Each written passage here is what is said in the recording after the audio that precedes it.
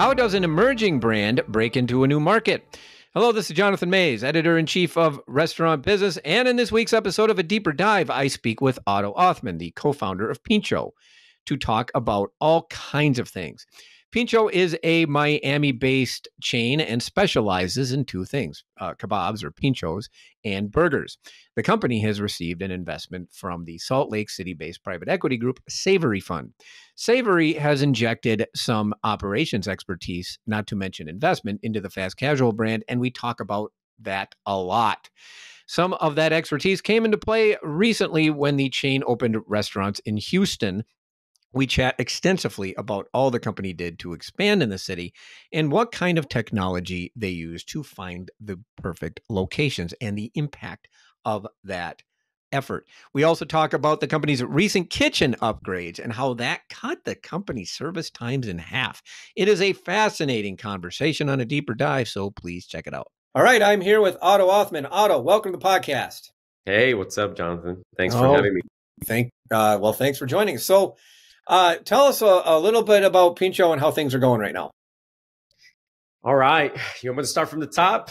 Uh, start from the beginning. Okay, so Pincho, we are we are a Miami-based uh, Latin street food concept. You know, our menu is burgers and kebabs, what we call uh, Latin-inspired American classics. That's sort of Pincho.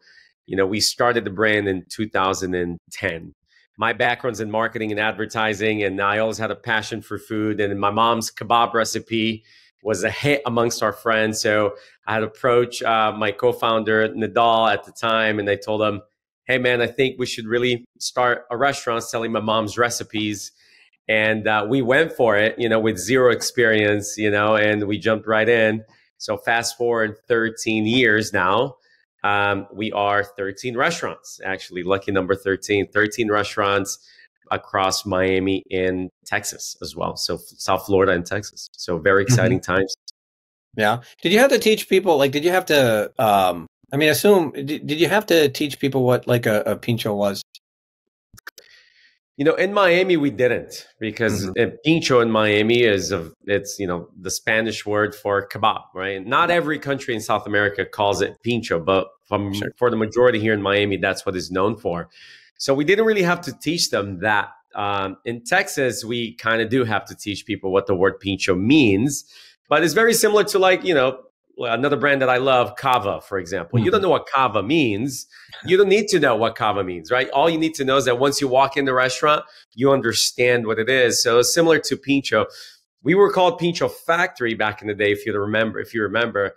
That used to confuse people because they didn't know they thought, well, what, what kind of factory are you? Right. So we once we rebranded and we dropped factory and we were just called just Pincho, it became just a name.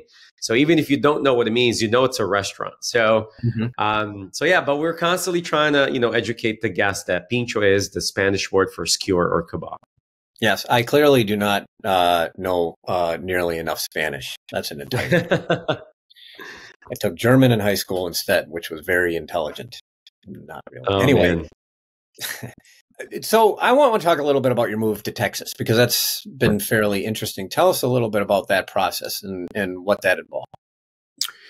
Yeah, so you know we partner up with uh, the Savory Fund. Uh, so we brought them on board. They are my business partners now. Terrific group of people. They're based out of Salt Lake City, and they are a growth equity firm.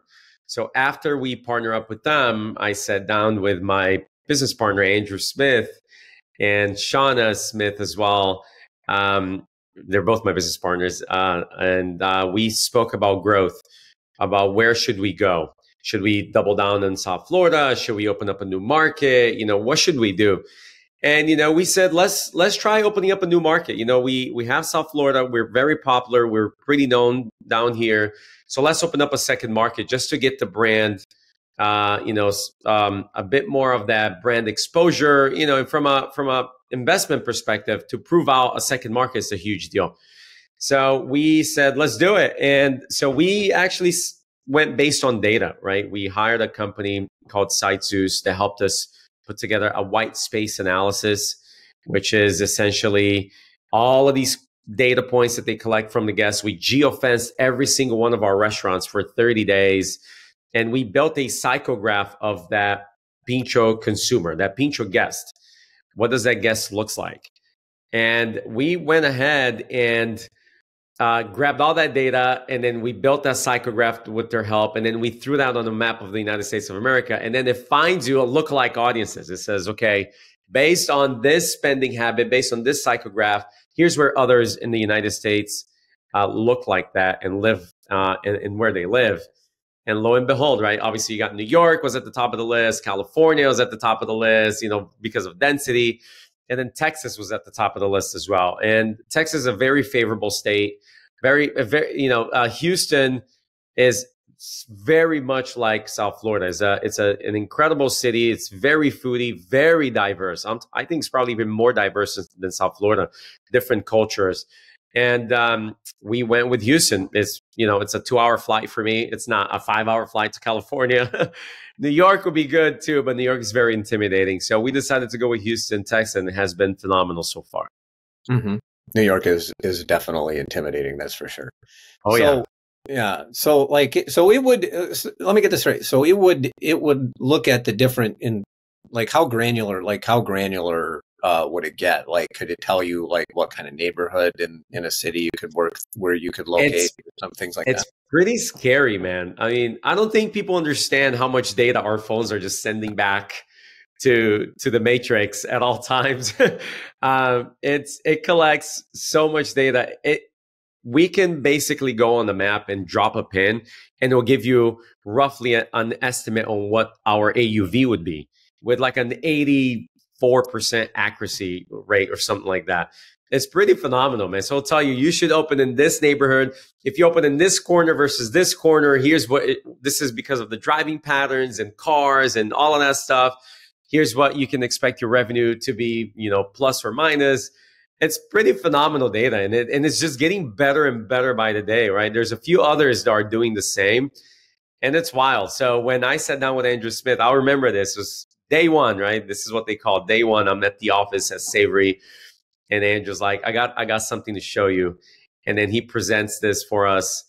And I was just blown away. I was like, oh my God, how do we get all of this data? Right. He's like, well, this is a company that we've hired and this is what we've been doing. And here are the neighborhoods where I think we should open up. And and by now, you know, we're we're we're three for three on the stores that we've opened. They're all doing they're all doing incredible. The the brand has been received so well in the state of Texas. And we actually have one more restaurant opening up now in April that I'm excited about. Did it surprise? Did the reception surprise you? You know, I think the number one thing that surprised me the most was how many people came up to me. You know, I'm the founder, I'm there, I'm having fun talking to everyone, right? And then just to really give feedback from people. And and it was like finally food with seasoning. That's what I kept hearing. Like finally food that's not Tex-Mex, right? Because it's a lot of Tex-Mex, a lot of barbecue and a lot of Asian influenced foods in Houston. So you got those three are the three big buckets. And you know, now we're coming with this Miami Cuban vibe, right? With really incredible flavors because we we pull flavors from all of South South America, right? So from from from Brazil, from from from Venezuela, from Colombia. We have a lot of flavorful food. And our motto is foods you've known, foods you know with flavors you've never experienced before. That's our motto when it comes to culinary so it, I was blown away by how many people gave us so like praise because our food had seasoning and had flavor. So I thought that was really cool. Um, and then the burgers, we knew we were we knew we have great burgers because we've won a lot of awards. Um, and I was a little concerned because you know Texas Texas is very protective of being from Texas. So we made sure when we went in there um, I remember we had this sign that we were going to put up on the on the restaurant called "Born in Miami," and you know our PR group, our our our general contractor, they all give us feedback like, "Hey, I don't think you should come in." You know, pounding your chest, thinking you're this cool brand from Miami. I think you should come in with, with a different vibe. So we completely took that out and we said, okay, let's just go into the market very humbly. Let's go in saying, hey guys, we're a Latin inspired brand from Miami. We're so proud to be here. We're so happy to be here. And here's our food. I think that was received extremely well uh, mm-hmm. to the point that now, you know, we, we get people saying that this is the best burger I've ever had in my life. We get multiple people saying that, that this is the best burger I've ever had. And that's, uh, that's a really great feeling for me as a founder. Yeah.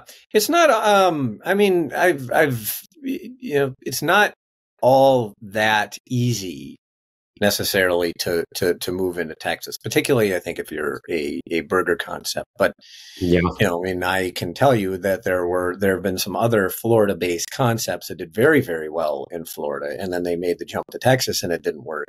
And then there are some burger yeah. brands that have done real well wherever they were, say California, and then they made the jump right. to Texas, and then that you know took a little bit for them to to get through. So it's not easy. It's not, I think, as easy as just hey, like let's just build some restaurants in Texas and just watch the customers fucking.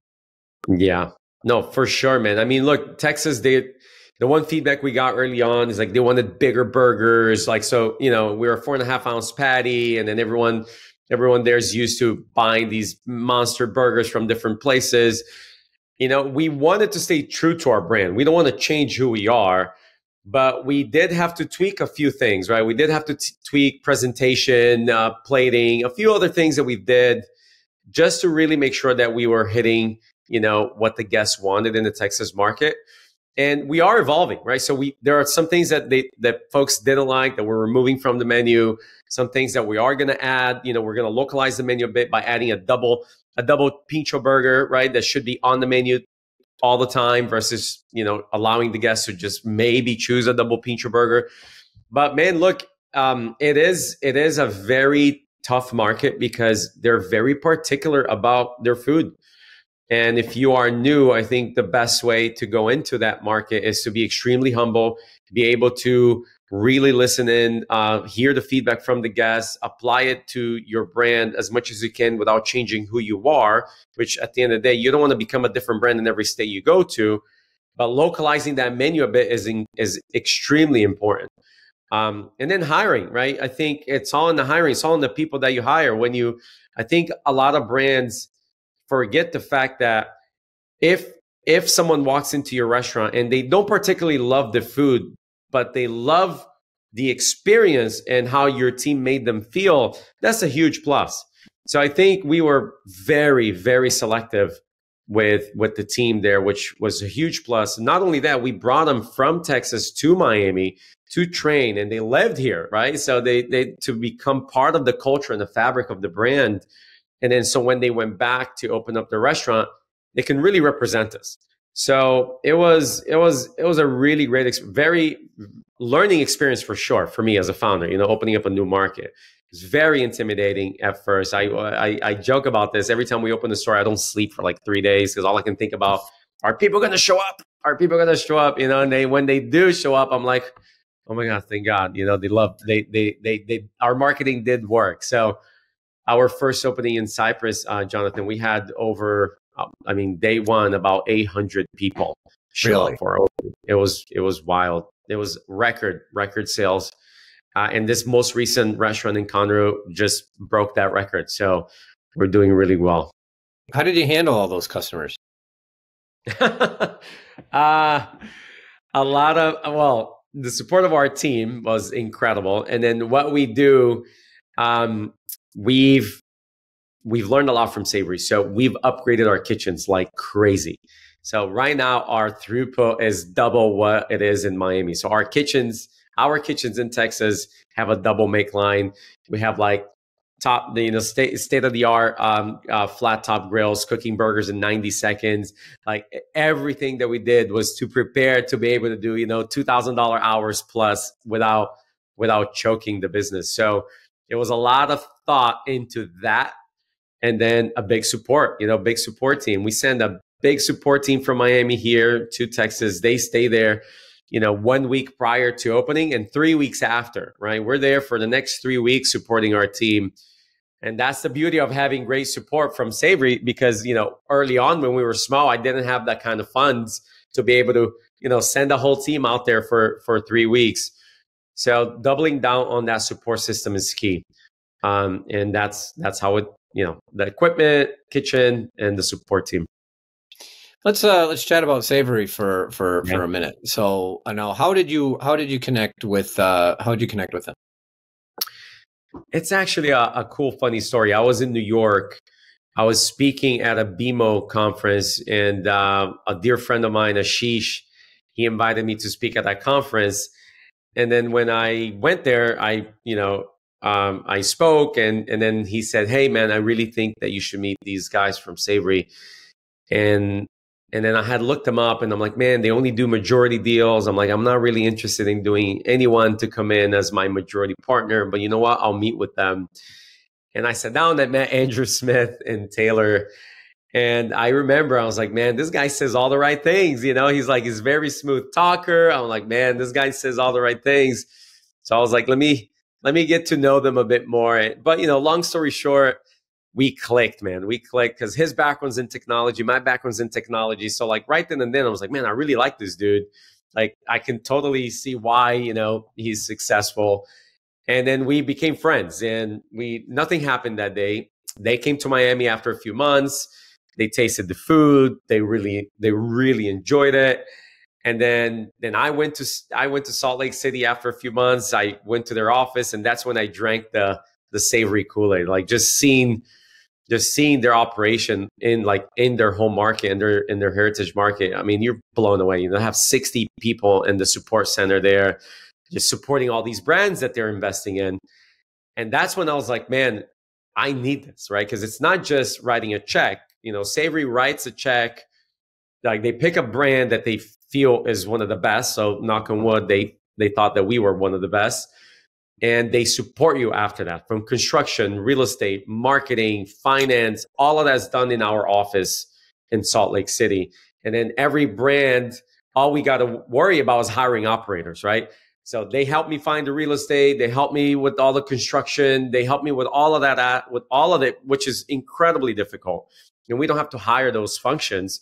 And then what we got to do on our side is just hire the operators and the trainers and go run that, run that store. Um, so I was blown away by that. And then I came back and I said, okay, I got to partner up with these guys. But, you know, we stayed friends talking for two years and then COVID happened. And then during COVID, um, we actually did extremely well as a brand. And then we kept the conversation going. And then, and then that's when I went to my board and I said, hey, I, I would like to do a deal where I would buy back all of our franchise restaurants. I don't want to franchise anymore. I want to control our destiny a bit more. And I think I found the right partners, and I was able to convince my my you know previous investors in getting that deal done.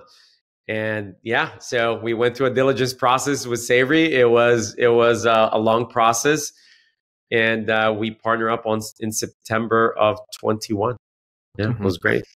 Let's chat about the decision to shift away from from franchising. Um, yeah, why did you make why did you decide to um you know to do that? everyone thinks it's super sexy to franchise right? Because we all look at mcdonald's right? And you're like oh my god mcdonald's look as a franchise. Every founder that i meet that opens one two stores tells me i'm gonna franchise. And then and that's how we were in the beginning right? We want to franchise so we franchised because we needed capital to grow we didn't have the money to open a bunch of stores so we said let's use franchising as a vehicle to finance our growth so we franchised early on. Um, and we've learned a lot, you know, and I've had a tremendous amount of support with that because Jim Mizes, which is one of my mentors, and I, I love Jim, so shout out to Jim. He was our board member and later became our chairman. So I had a lot of franchise experience on our board as well. So we felt very comfortable in franchising because of that. Between him and Andy Howard, which is also another another one of my mentors and investors, and then we went for it. But it's hard, man. It is hard dealing with four or five franchisees was a nightmare. You know, two of them were great, two of them weren't, and then all these different personalities. And it's a full time gig.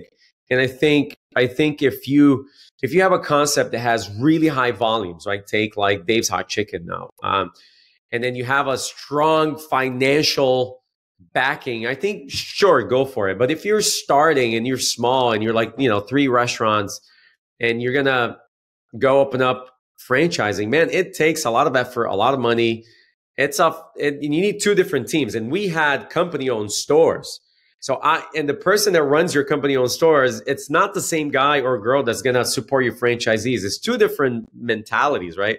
Supporting franchising, you it's like a marketing, and you need to have an undergrad in psychology because you need to deal with all these personalities. You gotta it's it's a whole different way of supporting. Where if you're an operator, you're more hands on. You're building your team. It's about your culture and all of that. So So it was hard. So we were doing both. And I think that was the mistake. I think if we only had one or two company owned stores and all we did was say, okay, we're going to run these two stores and we're going to franchise the rest, I think it would have been easier. Mm-hmm. So I said, we're making good money. We have great top line sales. The cash on cash returns are great. Why franchise? Let's just do it ourselves. Um, and that's what we did.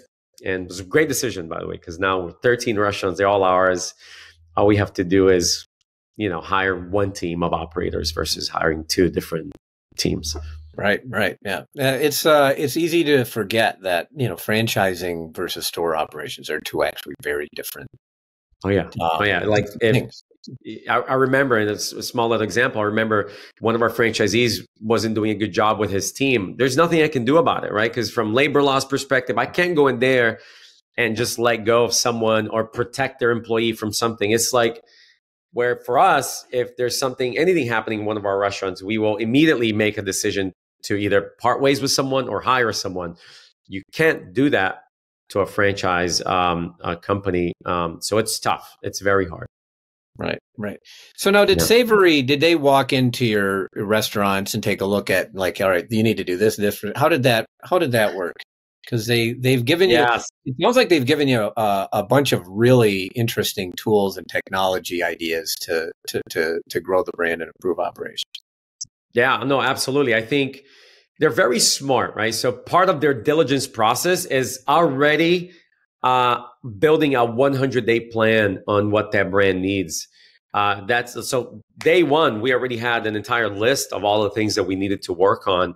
You know we work together with them and all of this stuff. So yes i mean and that's the difference between getting getting an investment from a private equity that does not have operators versus a private equity that is built by operators is that if someone you know they're all operators so they walk into our restaurants they understand everything that i'm like they understand my lingo my language my pain points and everything so we walked we walked all of our restaurants we created a 100 day plan on everything that we needed to do from uh, increasing our throughput, from from making you know, even visibility of our restaurants, the branding, POP, everything that they thought would uh, add value.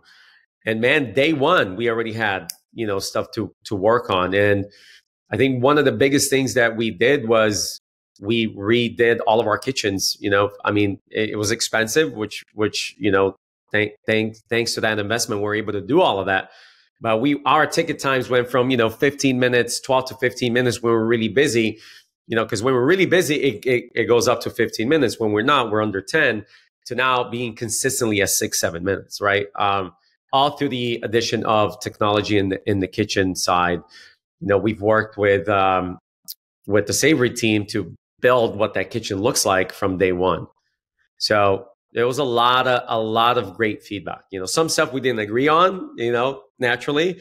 Uh, but for the majority, we're like 98% of the time we think alike, which is incredible. That that's the beauty of being partners with an operator is that you're always aligned. Mm-hmm. So you increased, you improved your speed at peak times from from up to 15 minutes to six to seven. Yeah, man. Yeah, in wow. Texas, we're actually at four minutes, four or five minutes sometimes, right? So it's very very different you know we're we're cooking burgers in 90 seconds you know uh, we're cooking kebabs it used to take us 10 to 12 minutes to cook a fresh kebab right chicken kebab now it's taking us five minutes to cook a kebab um, and then with this double make line that we've created um, it's it's very fast it's a very fast and very efficient kitchen mm-hmm. Mm-hmm. what's that done to the business it's great you know uh, we had uh, we had well we had an increase in auvs we had an increase in guest sentiment you know and we just we just got word that you know we had the the highest rated uh, year over year uh, guest sentiment by you know this other company that that it has a restaurant power index we just received word a few weeks ago so man i mean just overall the guest is loving us we man we've increased our our guest satisfaction scores from like a 4.0 to a 4.8 so that's how much, right? We and you know Yelp. Yelp can be brutal sometimes. Some of our stores were underperforming on the Yelp side. We have always had high scores on Google My Business, but right now we're like at 4.8, you know, in across um, Google and Yelp and Facebook and all of the above. So it's been phenomenal. Wow. Amazing what can happen when you improve speed like that. Oh yeah. Look, at the fast casual segment, you know, what people care about is is speed, price, and consistency. That's you know what I mean? We're not a fine dining restaurant. I want my food fast, I want it for a good price, and I want it to be consistent all the time, you know? And I know it sounds easy. It is actually really hard to do. It's really hard to do those three, especially if you're a culinary driven brand like us because we're a very culinary driven. You know, we're not just doing your regular, you know, uh, burger. We're we're doing all pulling from all these different flavors, and then we have kebabs and we have bowls. You know, we're a Lion street food concept. We're not a burger joint, although we we are very very well known for our burgers. So it's been um, you know increasing it, increasing the speed is everything, man. You know, it really is. People there's an expectation. People walk in to a Pincho, they want their food under 10 minutes. They don't want to wait 15. They get upset if they wait 15. you you you would too, right? You walk into a Shake Shack or a burger or or, or uh, Five Guys. If you're waiting 15 minutes for that burger, you're going to get upset. Oh yeah, no, no, no. I uh, I am not a patient person. Oh yeah, same, same. I don't think it's just you. I think it's everyone in this new world, right? Everyone oh, yeah. is very well, on. Atten- nobody has an attention span anymore, and I and I say that as somebody without an attention span. And and you know, so we people don't have an attention span, and you know, and waiting, and people are busy. And the other thing is like yeah. convenience. You know, speed and convenience. Not only it really does matter, and people will pay for it. And and oh, they have an expectation that you know, with the amount of technology that's available, and um, you know, with I think some of the prices that people are paying for things, that they're expecting things with relative uh, with yeah. relative speed. We, and I think there are very few brands that can get away with not doing that. I mean, yeah, we we yeah, you know, it's it it Miami specifically, Jonathan is. I still don't understand how people are willing to pay the prices that they're paying for convenience. It's just the way the city is built I, I can't I can't explain to you. You know, forty percent of our sales are third party, and people are paying a premium for it, and they just don't care. In Miami, or is that yeah. overall? Just no, in Miami. in Miami. Texas, is completely different. The Texas no. is like ten percent of our sales are third party. Mm-hmm. Here in Miami, I don't know if it's the way that the city is structured. It doesn't have great transportation. I don't know. It's something about the city where people are like, no, yeah, we'll just order from Uber Eats. It doesn't matter. I, I don't oh. care if I'm paying 20% more, 30% more. People are just willing to pay. Oh, well, you know what? If they're willing to pay for it, I mean, that's hey, the, people are willing to pay for it. It's, it's their We're going to meet our guests wherever they mm. want us to be. yeah. And they're right. to pay for that convenience. Yeah. Yeah, sir. Sir, this was great. I really appreciate you joining me on the podcast. Loved it. Thank you, man. It's been a while since we've uh, been able to chat. Thank you for inviting me, man. It's, uh, it's been great. And that should do it for this week's episode of A Deeper Dive, which was edited, as always, by Spoons, artwork by Nico Hines. You may find this and other episodes of the podcast on our website at www.restaurantbusinessonline.com backslash article backslash deeper dash dive, or you may subscribe on Apple Podcasts or Spotify. I'm Jonathan Maze, your host, podcast producer, and the editor in chief of Restaurant Business. Thank you for listening.